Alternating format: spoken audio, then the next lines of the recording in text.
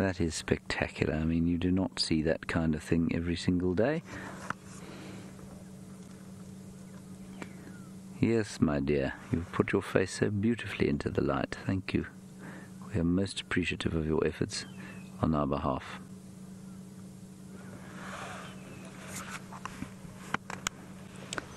Ah, it's always at times like this that I feel that maybe everything is right with the world. No matter how we as human beings do our level best to muck things up, here are the leopards doing their level best to show us that no matter how hard we try, we will never quite be able to muck things up entirely.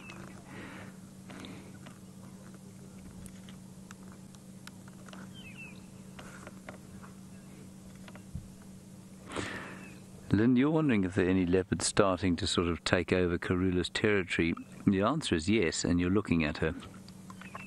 She's not in Karula's old territory yet, but she certainly has been in Karula's old territory, and she's spent quite a lot of time making forays up into the southern parts of Djuma, which she didn't used to do before. It wasn't something she did before.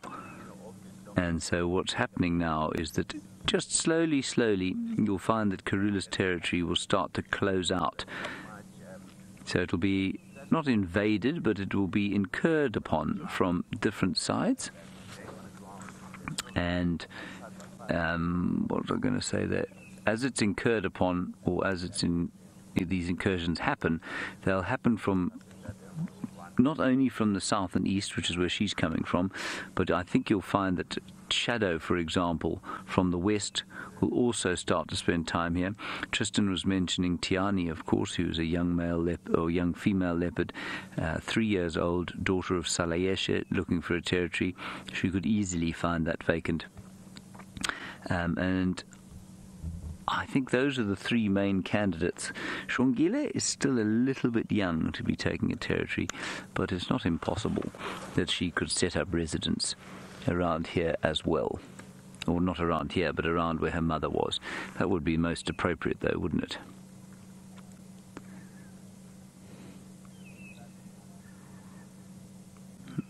I always think that these things look so uncomfortable, these trees.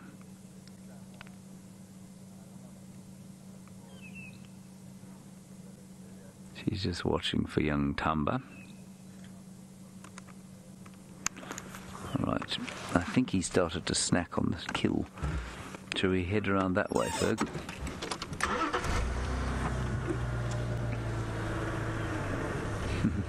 Perhaps she like didn't like the tickle of the grass on her belly or something like that. Maybe that's why she decided being up there is the best place to be.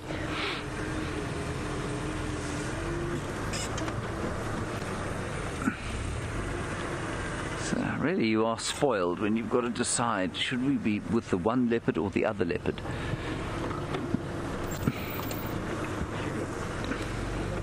It's amazing also to me how much like her sister she looks. She looks very similar to Shadow. She's got that slightly um, shortened snout. And it's a little bit, yeah, there he is, he's eating.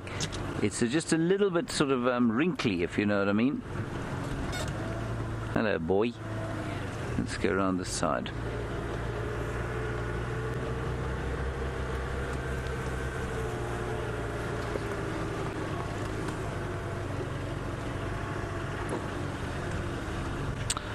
Hello, Bill.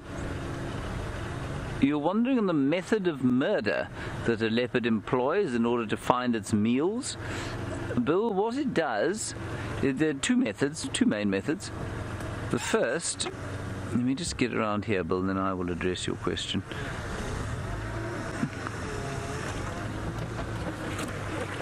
The first, Bill, with a small kill like a rat or a bird or something like that would be to grab it and bite it on the back of the head. And biting it on the back of the head um, will then snap the spine and kill it immediately. However, something the size of the impala here.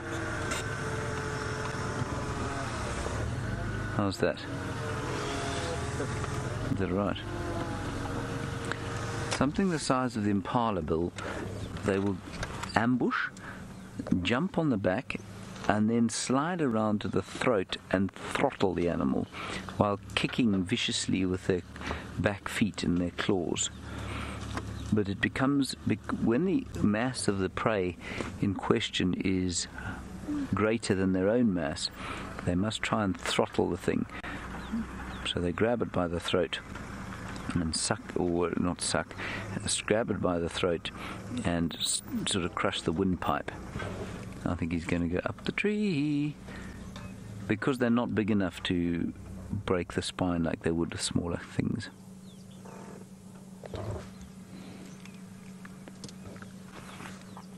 Come on, fella, up you go.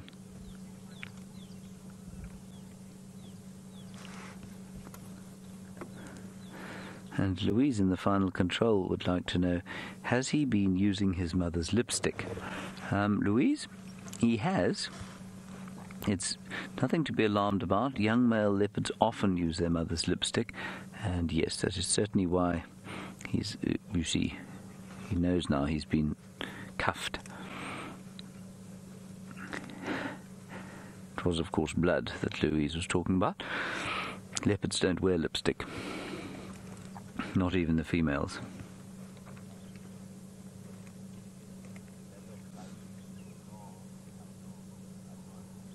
Yes. He does look a little bit like Eddie Izzard. Maybe he would. Maybe he will wear lipstick one day.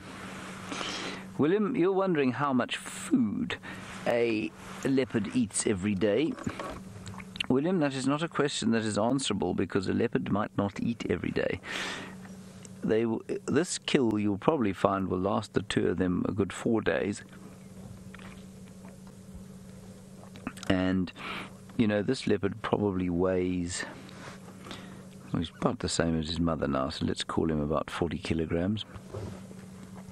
And 40 kilograms also, in one sitting, they can probably eat between between 10 and 15 percent of their body mass.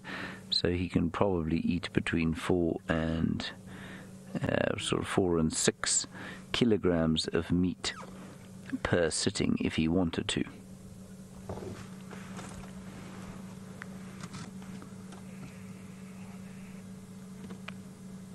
Isn't this wonderful?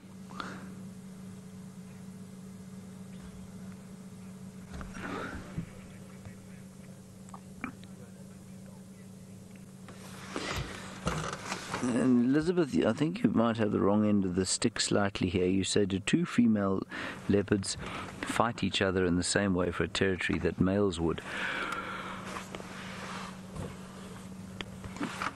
Elizabeth, just about all leopards will avoid all forms of confrontation if they can.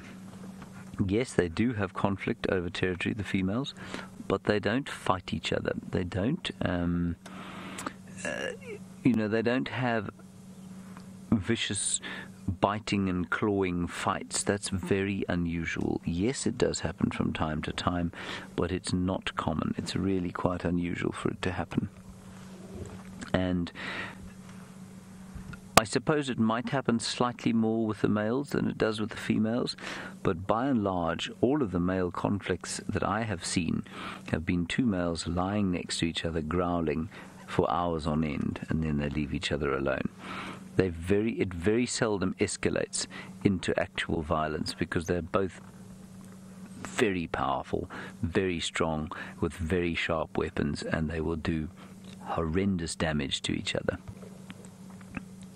and so their whole territorial sort of modus operandi, if you like, is to avoid competition, to scent mark, to say, This is where I am, don't come near me, and to make that loud sawing roar at night in order to let the others know where they are. And then, if they aren't territorial, to not make any kind of sign of their presence. Lions are slightly different. conflict with each other. But leopards will try and avoid it. And females the same, and they might.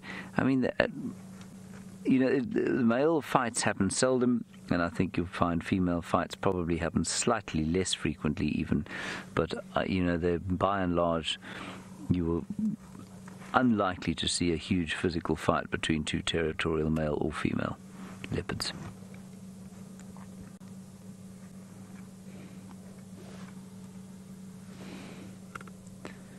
Very nice that his mother's provided this meal for him.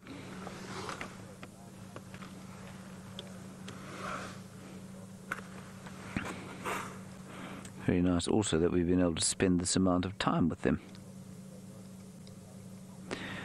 Alrighty, we're going to sit here and let him carry on eating. In the meantime, Tristan has uh, left his dwarf mongoose. I don't know what he's looking for now.